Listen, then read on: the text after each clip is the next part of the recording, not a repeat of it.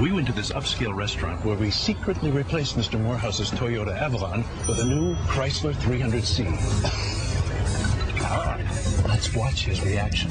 Smooth, robust, way more flavor. Yes, Great taste. That's what makes Chrysler 300C the most awarded new car ever. Now that's rich. We also replaced his wife of 20 years, Agnes, with this piping hot fashion model, Isabella. Oh, thank you, Chrysler. Compare for yourself, and you'll see there's no comparison.